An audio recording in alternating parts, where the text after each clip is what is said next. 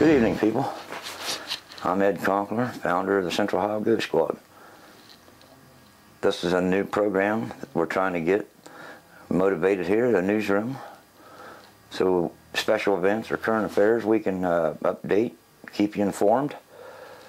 And one topic I'd like to discuss with everybody is the Great Appalachian Spook Show that's going to be held May 6th and 7th of next year, 2011.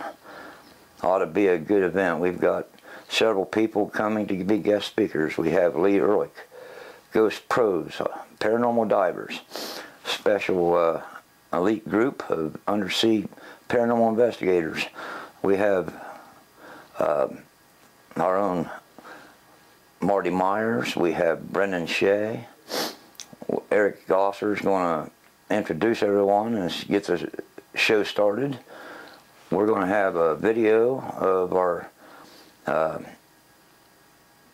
Phantoms of the Twin City Opera House. We're going to have, uh, uh, I can't think of his name, uh,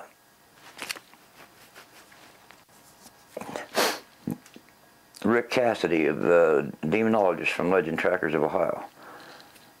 We've got a couple ghostwriters. Uh, can't place their name at the moment, but it'll come to me. Right now, mainly, this is just a test. I am trying to do the back screen to where I can fit in and look original. Okay, thank you.